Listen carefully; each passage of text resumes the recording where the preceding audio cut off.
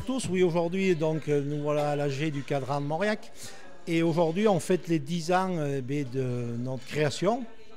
Donc avant, eh bien, au marché à Mauriac, il y avait un marché de gré à gré qui était tombé eh malheureusement à 50 bêtes tous les lundis après-midi. Et on était une dizaine à venir tous les, tous les lundis et on s'est posé la question pour essayer de, de conserver un marché. Donc on, a, on a pris plusieurs euh, choix et il est resté le marché au cadran pour, surtout pour la garantie de paiement. Donc on a visité plusieurs marchés en France et euh, on est parti, on a fait une, créé une équipe, on était une bonne dizaine, après on était une quinzaine. Et on a créé le marché à Mauriac et on a eu chance à la commune de Mauriac qui nous suivent à l'époque, M. Lémoni, qui nous a bien aidés. Euh, Le, le préfet de région aussi nous a bien aidés. Euh, on a monté le marché à Mauriac. Et on s'est beaucoup appuyé sur le marché de Moulin en Gilbert. Euh, Maintenant a pris euh, une ampleur. Ah, mais ils sont tous heureux de nous avoir accueillis dans cette famille des marchés au cadran. On l'a vu à la dernière assemblée de la FNBV où ils étaient quasiment tous présents et nous ont bien encouragés à continuer dans- sur, sur cette voie-là. Et Émilie, ça a été la première de nos chefs des ventes à être embauchée, qui s'est formée et qui a été formée par d'autres marchés aussi. Il y a 10 ans, on, a- on avait la même assurance hein, pour la, en tant que chef de vente. Pas du tout. Hein, le premier, c'est un souvenir inoubliable, non, la première fois, il y a à 10 fait. ans. Tout à fait, ça a été fait au mois de décembre et euh, on était tous un peu, un peu stressés et c'était normal. Et on l'est toujours, de toute façon, on le sera toute la vie. Alors, fois, on a mis deux lots le samedi et on a fait des essais. Tout à fait. Et on a eu 100% de vendus. euh, les éleveurs et les acheteurs ont tous joué le jeu et la preuve, il continue aujourd'hui. euh, Pour le dire franchement, il n'y a pas beaucoup de monde qui croyait au marché au cadran. Donc aujourd'hui, c'est quand même un essai transformé et euh, je pense qu'on peut en être fier. Je souhaite m'installer dans quelques années. et Mauriac euh, sera un point de- tu- tu- Oui. hein, pour vendre les bêtes. Bête, voilà. Voilà. Pour vendre au marché au cadran à Mauriac. à l'ouverture même du marché euh, avec les parcs, quand il a ouvert. Le marché au cadran se faisait directement en négociation avec les, les marchands de bestiaux. On voyait un marchand, on en passait un autre et puis on vendait au meilleur, au plus offrant. Et quand- Plus, euh, oui, c'est plus facile euh, pour les jeunes parce que si vous voulez quelqu'un qui ne connaît pas trop ses animaux, il trouve, il trouve toujours le meilleur, euh, le meilleur produit, la meilleure vente pour ses animaux. C'est ça. Et c'est vrai que c'est plus facile. Voilà. Tandis ouais. que le marché gré à gré est plus difficile. Ouais. Il, faut, On se faut fait être vite, vraiment, euh, il faut vraiment connaître ses animaux et être professionnel. Les prix. Et- mais le marché au cadran aussi apporte un, un gros avantage, c'est qu'on on se situe par rapport à la concurrence. Est-ce que, tu, euh, est-ce que tu venais déjà quand c'était au gré au gré? Oui, oui, D'accord, donc c'était l'habitude à, à jamais. euh, oui, Et tu as toujours cru? Oui, Même quand le cadran s'est mis en place, tu as Oui, oui, as oui. cru au, au marché. t'as cru au marché. Et, tous les lundis, euh, Oui. c'était une amélioration par rapport au gré au gré. Oui. Comme ça, parce qu'on ne voit pas les, les- les marchands qui nous prennent les bêtes. On ne discute pas en direct. Le marché paye, euh, il y a une garantie de paiement là. Euh, toi, tu es au, au cadran depuis quand? Oh, ça doit bien faire 6-7 ans. Après, tu as passé au cadran et tout de suite, tu as été bénévole de, à, à cette. Euh, Oui, oui, mais je suis venu travailler au marché après. Si on n'avait pas ça, pas de cotation. Je vous ai préparé un petit euh, résumé. Donc, et là, je pense aux habitués de Rédy, donc à Philippe, au Sébastien, au Pluriel, à Jean-Pierre, à Michel, à Bernard et tous les autres euh, qui, jusqu'au bout de fin 2013, vendront leur broutard au parc des Rédines. Les mêmes, les mêmes personnes dans les travées du marché réfléchissent et se disent qu'il y a une solution.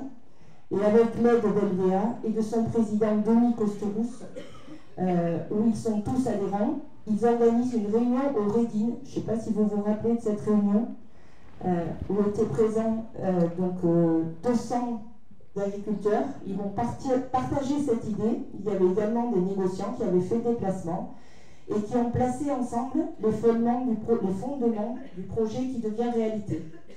Là, à cet instant, tout le monde se regarde et sous les conseils de nos grands frères des autres marchés au cadran du sel, de Saint-Christophe embryonné et de Moulin-en-Gilbert, qui eux sont convaincus de la démarche, on commence à y croire. À ce moment-là, un groupe se crée est le fondement de l'équipe, mais maintenant il faut convaincre, car les détracteurs sont nombreux. Et un événement va marquer le début de l'histoire, et j'ai voulu vous rappeler ce moment-là, parce qu'en fait, euh, à ce moment-là, tout aurait pu capoter. Donc c'est un événement qui euh, va marquer le début de l'histoire, c'est la réunion en préfecture. Lors du discours, hein, c'est Voilà. toujours une émotion, Comme quoi, une simple réunion oui, hein, peut peut tout faire basculer. Et l'importance de l'avoir préparé et que d'avoir montré que le groupe avait envie euh, de porter le projet. Et ça, ça a été euh, voilà. Et on avait euh, les chiffres et ça nous a aidé à faire basculer la situation. Mais on a été fiers à ce moment-là quand même. Quand on a envie de quelque chose, on va au bout. Moi seule, euh, je pouvais rien. Je pouvais aligner les chiffres, euh, dire que ça passait, mais si derrière il n'y avait pas une volonté et une équipe pour porter chaque chose, chaque petit détail, c'était pas faisable. Et donc c'est l'équipe qui a permis qu'on réalise tout ça. C'est une belle aventure humaine. Pas d'euphorie parce que la partie n'est jamais gagnée. Avec le sanitaire, c'est toujours très compliqué. Euh, autant avec le commerce, on arrive encore à, gérer les choses, mais le sanitaire, on ne le maîtrise pas et d'autres personnes décident à notre place. Donc c'est pour ça que c'est compliqué. Donc il faut être vigilant, essayer d'anticiper et après favoriser le commerce. On a 17 salariés, on a 7 équivalents temps plein. Donc c'est euh, beaucoup d'agriculteurs déjà sur leur exploitation. Donc euh, ils, euh, ils travaillent un petit peu sur le marché au cadran, mais ils sont aussi agriculteurs. Et on a fidélisé l'équipe de départ. En fait, c'est ceux qui étaient au départ qui sont toujours là aujourd'hui. Et là, c'est ça qui fait la force euh, de notre équipe. Et après, Monsieur Benofort l'a dit, hein, on essaye et on fait en sorte que cette équipe, elle soit renouvelée, que les gens qui partent à la retraite soient remplacés et que pour qu'on ait une équipe dynamique, de la solidarité. Et puis il faut s'écouter et ça marche bien. Les choses, elles se sont enchaînées très vite. Le montage du dossier, les subventions, les banques, les travaux, donc tout ça a été bon, dans des délais corrects normaux, tout ça a bien avancé. Monsieur Lepage, l'architecte, l'ouverture du marché le 5 janvier 2014 et très vite l'équipe s'est constituée déjà sous la forme d'une équipe de rugby. Maintenant, eh bien, comme l'a dit Michel, on va faire la troisième mi-temps. On va essayer d'arroser pour mieux euh, ces 10 ans. J'espère qu'on est à la hauteur de ce que vous attendez tous. Donc voilà. Donc, euh, eh bien, on, va, on va aller boire un coup. On va remercier Gilles et son équipe parce que ce soir, il nous fait l'entrée. Toi, tu tiens le restaurant depuis quand?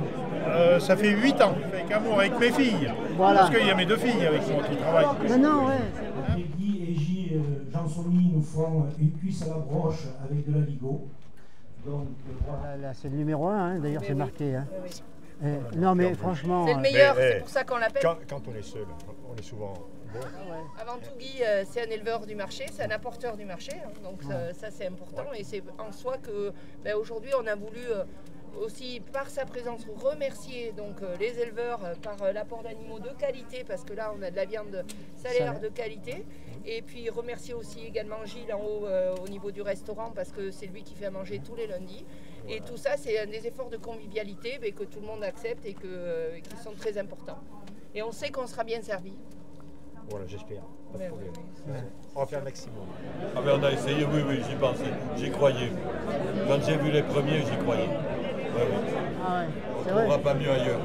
De gré à gré, on a été au marché jusqu'à la fin. On portait des animaux tous les lundis et le jeudi avant. Il y a d'autres endroits, on avait une référence, le marché du sel qui marchait bien. Et d'autres marchés comme Moulin en Gilbert, c'était euh, un bon marché, c'était très fréquenté. Je ne vois pas pourquoi à Mauriac ça n'aurait pas marché. Et la preuve, aujourd'hui ça marche. Ouais, Il y avait surtout une mentalité, il y avait, il y avait quand même une mentalité foire déjà ici. ouais, c'est ça. Mauriac. Voilà, parce que ça, ça datait de 82, moi, je crois, la fois. 82 ça aurait marché. Voilà. Et je crois que depuis 82, j'ai pas dû en louper beaucoup. C'est un lieu de rencontre, c'est un lieu euh, aujourd'hui de contact, donc euh, c'est très- c'est vachement Ouais, parce qu'on en voit beaucoup. euh, bon, m- même s'ils viennent pas, ils regardent les cours. hein. Ah, tout à fait. Viennent Ah oui, et quand on les voit dans les fermes, ils savent combien ils vont nous demander. hein. Ils sont très informés aujourd'hui. Et Éleveurs et aussi bénévoles surtout. Et administrateur au, Et du administrateurs. marché au cadran, oui. Voilà, depuis quand? Mais depuis le début, on était convaincus qu'il fallait faire quelque chose. On est monté en puissance quand même, parce que de, de 10 000, on est passé à 25 000 bêtes. La place, mais j'espère que ça va aller bien, bien plus loin. C'est une belle aventure. Euh, Il y, a- il y a beaucoup de choses qui tournent dans la tête là. Hein, Lorsqu'on fait le récapitulatif depuis 10 ans là. Enfin, moi, ça fait 30 ans. une chanson. Non, je ne sais pas chanter. 30 ans 30 ans. il faut- Mais alors du, du temps que c'était au gré, la gré à gré. Oui, le gré à gré. Ah ouais. Et donc, euh, et là on a vu la, euh, on a vu la chute là quand c'était à gré. Et, et là on a dit il faut remonter là. C'était privé, c'était la mairie, et après on est passé à la SAS. Et là, c'est remonté. Ah ouais, et puis là maintenant. Déjà entre éleveurs, on se retrouve. Parce que bon, il faut reconnaître, hein, on est un peu seul sur nos exploitations et ça nous permet d'aller échanger un peu le lundi. Ça échange un peu nos idées. On voit un, un cours, euh, au moins c'est un cours euh, vrai qu'on voit. Parce qu'après les cours de ferme, euh, on sait très bien ce que c'est les cours de ferme, euh, voilà. Mais là, on sait que c'est un prix vrai. Toujours euh, exploitant agricole. Toujours le commerce, mais toujours acheter ce que les autres ne veulent pas. Les mauvaises. Regardez les jeunes, hein, ils ne se rendent pas compte. Hein, hey, on verra bien quand ils auront notre, notre âge. Hein, ce cadran de Mauriac, vous y allez régulièrement On vend toutes les bêtes. Ah ouais, donc c'est vraiment le point de, ici de, de vente. euh, On est dans un territoire rural, on est bien obligé de soutenir les activités euh, euh, rurales, les activités des agriculteurs, puisque la- l'agriculture, c'est quand, même un pan de l'économie très important sur le secteur de Mauriac. Donc euh, pour le cadran, s'ils ont besoin de, subventions, on les aidera de toute façon pour que le, pour que le cadran prospère. Je ne dis pas pour qu'il soit sauvé, pour qu'il prospère. Moi, j'ai été un fervent, parce que ça fait 30 ans que je suis élu. J'ai toujours été un fervent d'un cadran, bien avant qu'il se fasse, parce qu'à l'époque, il y avait beaucoup d'agriculteurs qui vendaient leurs animaux à des, des marchands de bestiaux qui avaient fait faillite. Donc, il y a beaucoup de gens qui ont perdu de l'argent. Donc, ça a un petit peu aidé euh, à la réalisation de, de la création du cadran. C'est une très grande réussite, très grande réussite pour le territoire. un adjectif pour qualifier le cadran de Mauriac. je crois, que c'est une belle aventure, une belle aventure collective où il fallait, il y avait trois choses qui, étaient essentielles. C'était déjà réunir des éleveurs, parce que ce sont les producteurs et, j'allais dire c'est la matière, c'est la matière vivante du marché, c'est important. Il fallait des acheteurs aussi, parce que si, si vous produisez des animaux et que vous n'avez pas d'acheteurs, ça ne marche pas. Et là, il y a eu symbiose entre deux. Puis après, il fallait des porteurs de projets, porteurs de projets euh, qui se sont réunis, qui ont réussi à convaincre l'administration, qui ont réussi à convaincre les banques, et puis aussi les éleveurs et puis les acheteurs, hein, de manière à, ce que tout le monde se regroupe au fil du temps, parce que ça fait 10 ans. 10 ans, effectivement, aujourd'hui, on fête les 10 années du marché au cadran, donc euh, c'est euh, donc c'est une belle aventure et ça démontre effectivement qu'au bout de 10 ans, les initiateurs du projet avaient raison, avaient raison de le faire parce qu'aujourd'hui, euh, le marché cadran de Mauriac est essentiel dans le paysage de l'élevage. C'est de l'économie, c'est quasiment 25 millions de chiffres d'affaires, c'est de l'emploi aussi. Et puis, euh, et puis c'est une référence, c'est une référence pour les prix, bien sûr, pour les éleveurs qui viennent au marché, mais je vais dire d'une manière générale, euh, même les autres opérateurs qui, qui- dans- sont dans le milieu de l'élevage regardent toujours les tarifs qui sont pratiqués au, au marché. Ça met de la transparence et ça met des références. C'est quand même, c'est quand même la fibre, euh, la fibre agricole et c'est vrai qu'à l'origine, lors de la création de l'idée du projet, à, à l'époque j'étais président de la communauté de communes du pays de Salaire et il m'a- il m'a semblé tout à fait naturel effectivement que le territoire puisse y être, que ce soit la communauté de Mauriac, Gentiane, Chimel-Artens, le pays de Salaire. Et bien évidemment, euh, j'ai défendu le dossier au conseil départemental qui, qui- qui a soutenu ce projet de manière économique.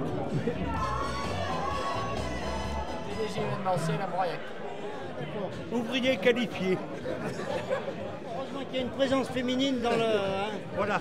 Qui les recadre un peu. Cardin, je félicite Monsieur le Président, pardi. Il est où le président Il est là.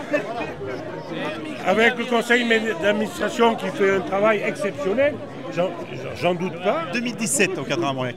Ça a, été, euh, ça a été un marché qui a été important. Quoi. Ça a développé l'agriculture. Ça nous permet, de, comme ils ont dit, c'est un lieu qui est social.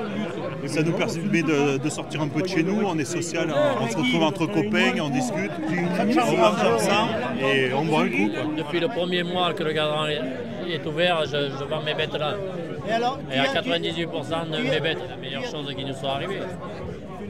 Étant donné qu'on a tous les marchands en face, et on a une quarantaine de marchands en face euh, chaque fois. Et avec le buzzer, pourvu qu'ils appuient, on est content. On est depuis euh, deux ans. Ouais, deux ans à peu près qu'on se connaît. Donc on s'est rencontrés vraiment au, mar- au marché. Quoi. Si on n'avait pas été au marché ensemble, on ne serait jamais rencontrés. Après- après, c'est, Parce euh, qu'au début, nous, on est sur le département de la communauté de Semaine-Artens. Toi, c'est le canton euh, Saint-Cernin. Saint-Cernin. Saint-Cernin. Donc, on se serait jamais euh, rencontrés. On ne serait jamais rencontrés avec le marché. S'il n'y avait pas eu de marché, ça devrait être. C'est, notre revenu. hein. Et, euh, on vient là parce qu'on vend mieux les bêtes euh, au cadran qu'à la maison. Si on y trouve notre compte au niveau financier, on revient. Tout le monde y trouve son compte, quoi, en fait. Aussi bien les marchands, parce que les marchands, ils ont une- en face, ils ont une offre qui répond à la demande.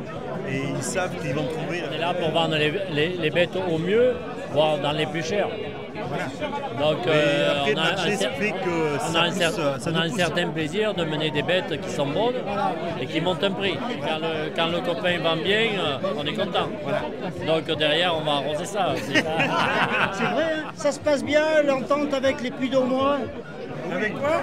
Avec les puits d'Aumois. Les puits oh, d'Aumois. on a du mal. Et les cantalots, ils sont comment? Je sais pas, bien. Ouais, bah oui, parfait. C'est, il s'est- tranquille, Sébastien. Merci. Déjà.